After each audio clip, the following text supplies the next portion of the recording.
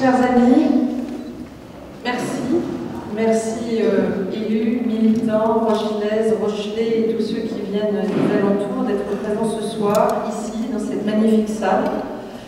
Et en dépit des circonstances qui viennent de nous toucher tous profondément. Je suis très heureuse de voir que vous êtes là, que vous ressentez l'envie que nous avons eue, Hervé Blanchet et moi-même et, toute notre équipe ici présente, de maintenir ce rendez-vous, de maintenir cette réunion publique ce soir. Alors c'est une réunion publique un peu différente. On n'a pas mis de musique, on a décidé d'être sobre, d'être euh, respectueux, d'être euh, digne, mais de pouvoir malgré tout continuer la démocratie locale dont nous avons euh, aujourd'hui assumé la responsabilité, chacun, chacune d'entre nous ici, ayant des mandats déjà électifs, et briguant un mandat pour six ans dans cette grande et belle région. Donc le fait de se retrouver ce soir, c'est un premier pas vers cette démocratie euh, locale à laquelle nous sommes attachés. Et c'est pour ça qu'au lieu de vous faire un long discours, moi je, je ce soir, si vous en êtes d'accord, une forme plus interactive de questions et réponses. Parce que je suis sûre que vous avez des questions. Et des questions qui vont peut-être euh, au-delà même du périmètre euh, que Hervé vient de nous décrire, de nos prérogatives de demain, si nous sommes élus à la tête de cette grande région, des questions qui sont celles de citoyens qui viennent de vivre un moment particulièrement lourd dans l'histoire de la France. Et je crois que nous sommes tous ici des hommes et des femmes responsables qui prétendons demain à d'autres responsabilités et que nous sommes donc là pour répondre à toutes vos questions. Moi, je voudrais simplement vous dire d'abord que je suis toujours heureuse de me retrouver en Charente-Maritime, parce que je suis d'ici, parce que mes parents se sont connus à Royan, parce que je suis née à Bordeaux, parce que j'ai grandi pendant six années à Bordeaux, et puis parce qu'après, j'ai passé six années de ma vie à Jonzac. Je profite pour saluer euh, Claude Belot ici présent, pour saluer Nicolas Belot aussi, qui fait partie de notre liste. Et mes années euh, d'enfance sont des années importantes. Je pense que comme euh, pour tous, l'enfance est marquante. Ce sont d'abord des bons souvenirs en général. C'est des moments euh, qui nous forment le caractère, qui nous permettent de nous construire. Et moi, je suis à la fois fière et honorée de venir faire de la politique dans les terres qui m'ont vu grandir. Je pense que ça a donné tout son sens à mon engagement politique quand il y a 18 mois seulement, Alain Juppé m'a appelé pour rejoindre son équipe au municipal à Bordeaux en tant qu'adjointe au maire en charge de l'économie, l'emploi et la croissance durable. Alors, cet engagement politique, il a reposé sur des valeurs, des valeurs qui me tiennent particulièrement à cœur et j'aurais tendance à dire encore plus depuis ces dernières heures. La première de mes valeurs, c'est la responsabilité. Je crois que on a du mal avec la fameuse phrase du responsable mais pas coupable. Lorsqu'on est responsable, on doit assumer. Et je crois malheureusement que dans ce pays, on vit mal le fait que beaucoup n'assument plus ou ne se sentent pas responsables de ce qui s'y passe. La seconde de mes valeurs, c'est la liberté. la liberté, j'ai travaillé dur pour ça. J'ai passé 20 ans en entreprise, D'abord euh, dans l'expertise et le commissariat au compte pendant 5 ans. Ensuite à la direction financière de petites entreprises ou de grands groupes. Euh, vous connaissez Numéricable. Et puis euh, à la direction générale aussi de grandes entreprises, Canal+, Endemol, Free et, Technicolor ou Euro Disney dont je suis administrateur et, et présidente encore du conseil de surveillance d'Euro Disney. J'ai aussi créé des entreprises j'ai vécu dans des start-up où on savait euh, ce qu'était la difficulté de payer ses salariés en fin de mois. Et je crois que le monde politique a besoin de ponts avec le monde économique. Et c'est une des valeurs que j'ai envie d'incarner aujourd'hui, c'est-à-dire de porter euh, un autre profil, une autre expérience, peut-être une autre expertise, pour la mettre euh, au service des citoyens et parce que j'ai eu la chance d'avoir un parcours particulièrement riche, varié, diversifié, assez jeune. Et donc j'ai encore toute l'énergie dont tu parlais, Hervé, pour la mettre euh, au bénéfice euh, des citoyens. Et puis je pense que c'est une valeur forte, la liberté, c'est la liberté de penser, c'est la liberté de choisir, c'est la liberté d'encourager, c'est aussi la liberté de refuser. Et je crois que nous en avons besoin encore plus particulièrement depuis ce que nous venons de vivre. Et puis la dernière valeur qui me tient particulièrement à cœur, beaucoup de femmes ici présentes dans la salle la partagent, non pas mes messieurs, vous ne la partagez pas, mais les femmes ont ça de commun, c'est le courage. Vraiment, je crois au courage et je crois qu'on ne réussit pas si on ne va pas jusqu'au bout, jusqu'au bout de ses engagements, jusqu'au bout de ses valeurs, jusqu'au bout de ses passions. Je crois que le courage va avec l'effort, il va aussi avec le mérite. La vie est clairement rude, pour certains plus que pour d'autres d'ailleurs, mais c'est le courage qui rend la vie grande. Alors, aujourd'hui, tout particulièrement, je voudrais vous dire ces trois valeurs qui m'ont porté en politique, à un moment donné où tout le monde se dit mais qu'est-ce qu'elle va bien faire en politique? Finalement, euh, il faut un peu de masochisme, abandonner une vie confortable à un moment donné où la vie politique est si décriée, où le gap entre les citoyens et les politiques est si grand. Quand on voit ce qu'on vient de vivre il y a quelques jours, eh bien moi je suis fière, fière d'avoir fait ce pas, fière de mon engagement, fière de pouvoir, j'espère, mettre à profit de la collectivité une autre vision et une envie de faire différemment. C'est ça qui me motive, c'est ça qui m'habite, c'est à ça que je crois. Je crois qu'il faut beaucoup de passion pour déplacer des montagnes. J'ajouterais qu'il faut sûrement un peu de folie, je ne dois pas en manquer, peut-être un peu de masochisme aussi, mais vraiment j'y crois. Et j'y crois parce que ce qui vient de se passer ces derniers jours, c'est malheureusement le témoignage de ce que nous savons tous, parfois sans se l'avouer, c'est qu'on ne va pas pouvoir continuer comme ça dans ce pays. On ne va pas pouvoir continuer avec les mêmes, on ne va pas pouvoir continuer avec la même politique, on ne va pas pouvoir continuer avec les mêmes résultats, qui sont souvent malheureusement une absence de résultats.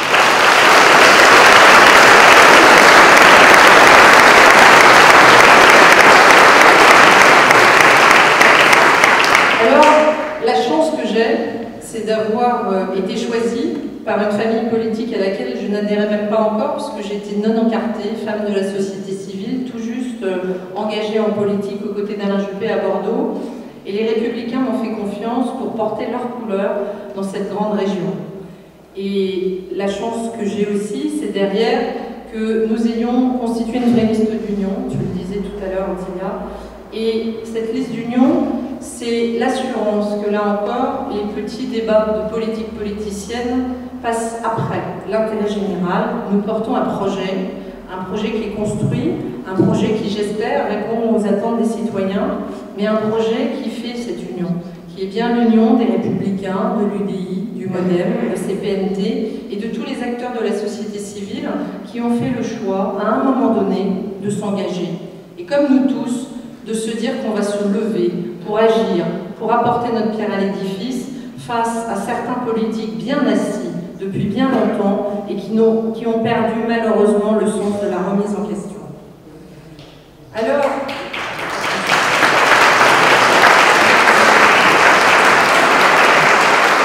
alors ce que je vois des Français avec lesquels, et c'est cette chance de, campagne, je, je suis au contact sur nos 12 euh, grands départements. cette région, elle est grande, elle est même très grande.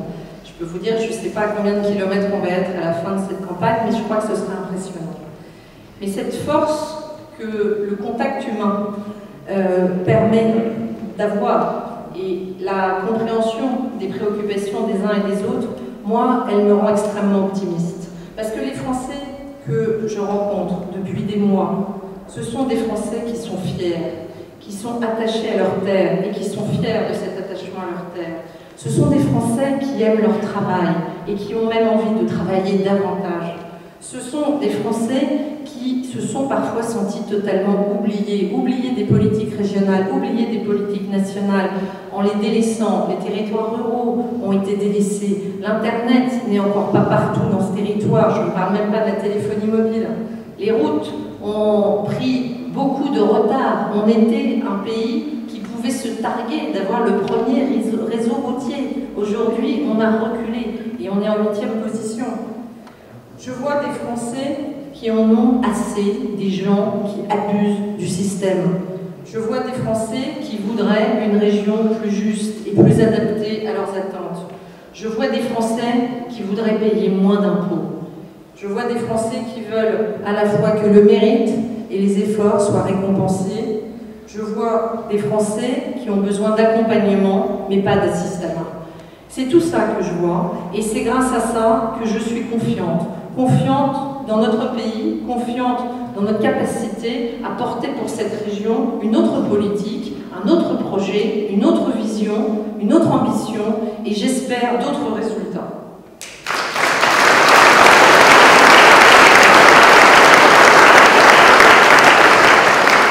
Alors très rapidement, pour qu'on ait vraiment le temps d'échange, je voudrais simplement vous résumer très brièvement ce qu'est notre projet. Et puis, Hervé, tu l'as annoncé, tu as dit que j'allais parler du projet, donc il faut que je parle un peu du projet. Mais après, je pense qu'il faut vraiment qu'on garde du temps euh, pour l'échange. Je voudrais simplement vous dire que ce projet, d'abord, il est né de réelles convictions. C'est l'échange, c'est le partage, c'est la rencontre avec les personnes de ce territoire issues de tous horizons qui a nourri ce projet. C'est un projet qui a été fait dans la rencontre et dans l'écoute. J'espère qu'il répondra euh, à, vos attentes. Ce projet, il est construit autour de quatre valeurs. La première, je vous ai dit que j'y étais particulièrement attachée à titre personnel, c'est la liberté. Il faut dans ce pays qu'on retrouve la liberté d'entreprendre. L'entreprise, c'est le moteur de la croissance. Ce ne sont pas les politiques qui créent l'emploi, ce sont les artisans, les commerçants, les agriculteurs, les TPE, les PME. C'est eux qui tous les jours créent l'emploi, créent la valeur et font l'économie de ce pays. Alors, quand j'entends mon opposant socialiste nous expliquer qu'il faudrait doubler euh, la CVAE, c'est-à-dire encore les impôts, les dépenses publiques, pour inverser la courbe du chômage, j'ai mal. J'ai mal dans tout ce que j'ai appris pendant 20 ans au contact des grandes, des moyennes et des petites entreprises. C'est pas plus d'impôts ou plus de dépenses publiques qui inversera la courbe du chômage dans ce pays. Au contraire, nous avons besoin de liberté et c'est ça que nous allons essayer de porter à la tête de cette grande région. C'est de la simplification, de la libération des normes, des règlements, des formulaires, de toute cette bureaucratie dont les premiers acteurs de l'économie souffrent. La liberté, c'est aussi celle d'être en contact avec la France, l'Europe, le monde, quel que soit l'endroit où on habite dans la région. Et pour ça, au XXIe siècle, c'est définitivement d'être connecté au très haut débit, à minima au haut débit, mais au très haut débit. Et la Charente-Maritime est de ce point de vue-là bien dotée, parce que euh, une belle politique a été menée en la matière par le département, en haut débit. Mais notre objectif maintenant, c'est le très haut débit. Et la région se devra d'accompagner la politique départementale en la matière. Nous devons clairement faire cette révolution. C'est à la fois un outil de désenclavement des territoires, un outil de développement économique, un outil de modernité, un outil de vision, et c'est finalement un magnifique outil d'aménagement du territoire. La deuxième valeur importante dans notre projet, c'est la justice et l'équité. La justice, c'est d'abord, et l'équité, c'est d'abord de pouvoir se déplacer partout dans cette région et d'avoir donc un traitement équitable entre tous les territoires. Pour se déplacer partout dans cette grande région, Hervé, tu l'as souligné tout à l'heure, il faut qu'on continue à investir dans les routes. Quand je vois que le président sortant euh, de la région Aquitaine met zéro dans le CPER, dans le contrat de plan État-région pour les cinq prochaines années sur les routes, je me dis que définitivement, on n'a pas dû comprendre la même prérogative du développement économique. Vous savez, les embouteillages en France, c'est 17 milliards d'euros qui pèsent sur le PIB. On ne peut pas faire du développement économique sans investir massivement sur les routes, et c'est ce que nous nous engageons à faire. Et puis, vous le savez, c'est aussi les, prérogatives en matière de transport, et notamment de TER. Et là encore, nous voudrons clairement moderniser et peser dans la négociation avec la SNCF pour moderniser les TER, pour veiller à ce qu'ils soient davantage à l'heure et pour qu'ils soient plus adaptés aux besoins des usagers. Pour ça, je l'ai dit, nous pourrons ouvrir à la concurrence les lignes de TER et euh, à l'issue en fait des contrats qui sont déjà engagés avec la SNCF. C'est tout simplement possible, il suffit d'en avoir la volonté politique. La justice, c'est aussi, et là franchement on a encore beaucoup de travail, veiller à ce que chaque jeune ait la même chance de réussir.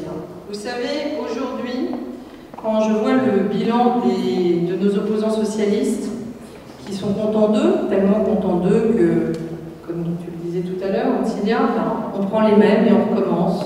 C'est les mêmes personnes pour faire la même politique.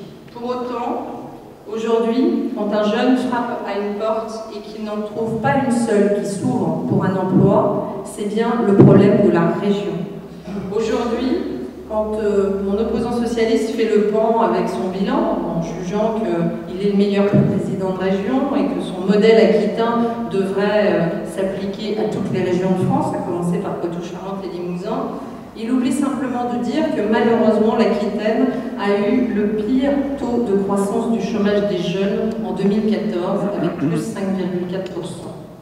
Alors, on, on pourrait dire oui, c'est vrai que la conjoncture n'est pas bonne, oui, c'est vrai, mais pourquoi on serait encore plus mauvais en Aquitaine qu'ailleurs? Pour une raison simple. C'est parce qu'on n'a malheureusement pas investi là où on peut avoir des clés pour les jeunes, notamment l'apprentissage, la formation professionnelle. Ce sont des sujets majeurs que nous mettrons au cœur de notre projet je souhaite doubler le nombre des apprentis parce que je crois au travail de la main, parce que je crois au talent, parce que je crois qu'il ne faut pas forcer une classe d'âge à avoir le bac, forcer une classe d'âge à aller à l'université pour finalement se retrouver avec un, pan entier de la génération sacrifiée qui va droit au chômage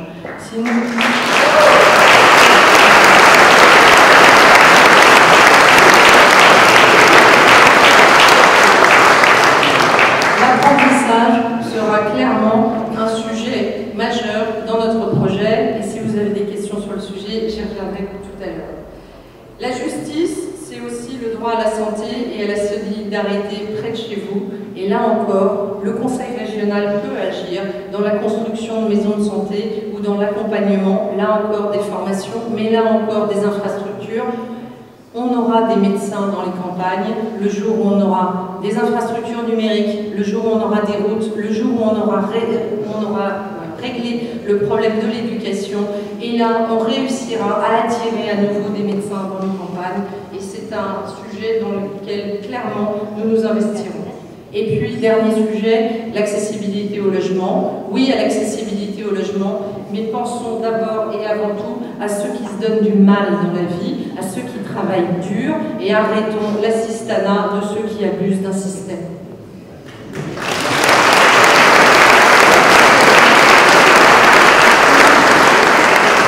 La dernière valeur de notre projet, valeur importante, c'est le respect. Le respect, c'est le respect de nos territoires. 12 départements, ça ne sera pas simple d'avoir une politique régionale uniforme. Oui, sur les infrastructures numériques, bien évidemment, oui, sur les routes, mais sur le développement économique, sur les enjeux de proximité, la région devra travailler en respect avec les territoires, en respect avec les départements, avec les villes. Vous savez, la région est le chef de file du développement économique. Mais le développement économique, c'est aussi un sujet de proximité, et ça, nous le ferons en étroite collaboration avec les, les maires, avec les communautés de communes, avec les consulaires, avec ceux qui sont plus près de l'activité économique, et c'est certainement pas du bureau de la future présidente de région, si les citoyens font confiance, qu'on décidera des aides aux entreprises dans cette grande région.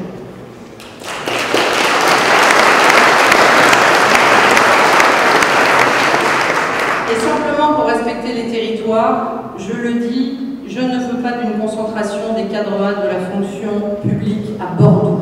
Notre territoire a des talents partout. Faut faire vivre les capitales territoriales que sont Poitiers, Limoges, mais que peut être demain Bayonne ou Pau. Il faut que Bordeaux soit une capitale régionale, mais qu'elle ne concentre pas tous les pouvoirs de décision de cette grande région. Et nous aurons donc une répartition sur l'ensemble du territoire des directions régionales. L'autre point important dans le respect, c'est celui que chacun doit avoir pour l'argent public. Et là, je vous le dis, franchement, on va faire beaucoup mieux que les exécutifs socialistes sortants. parce que la gabegie, la dérive sur les coûts, les embauches de fonctionnaires, la multiplication par trois des effectifs au siège des conseils régionaux d'Aquitaine, de Limousin, de Poitou-Charentes, un absentéisme à 34 jours et demi en moyenne par agent au Conseil régional d'Aquitaine. Quelle entreprise de France survivrait à un tel taux d'absentéisme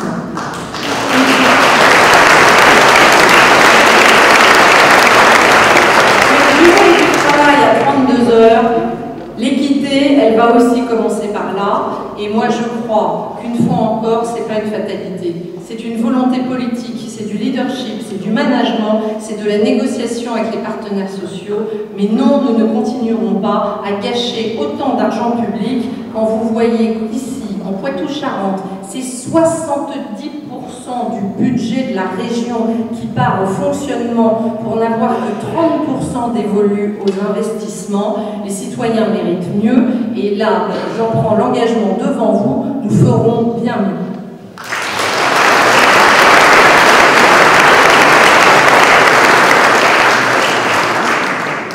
Et puis, le respect, c'est aussi le respect, une fois encore, de ceux qui travaillent et qui travaillent dur. Alors, pour euh, paraphraser Georges Pompidou, je dirais que notre projet, passe d'abord et avant tout par la simplification pour que définitivement on arrête d'emmerder les Français.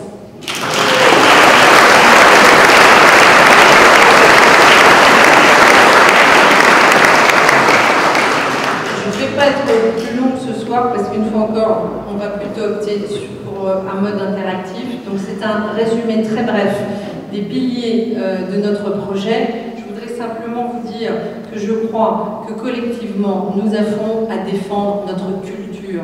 Ça passera aussi par un projet régional qui doit faire une place importante à la culture, au patrimoine, à la préservation de ce que sont nos racines, nos églises, nos belles pierres, euh, tout ce que nos touristes viennent voir et visiter dans cette grande région. Nous devrons défendre la culture parce qu'elle est le reflet de ce que nous sommes. Et puis, il faut rappeler nos racines, nos terres, première région agricole d'Europe. Nous avons un engagement vis-à-vis de tous nos agriculteurs. Nous devons absolument être en soutien de ce pan important de l'économie qui est l'agriculture, en rappelant que nos agriculteurs, ce ne sont pas des fonctionnaires de Bruxelles, ce sont des entrepreneurs qui prennent des risques, qui protègent l'environnement et qui créent de la valeur tous les jours dans ce pays.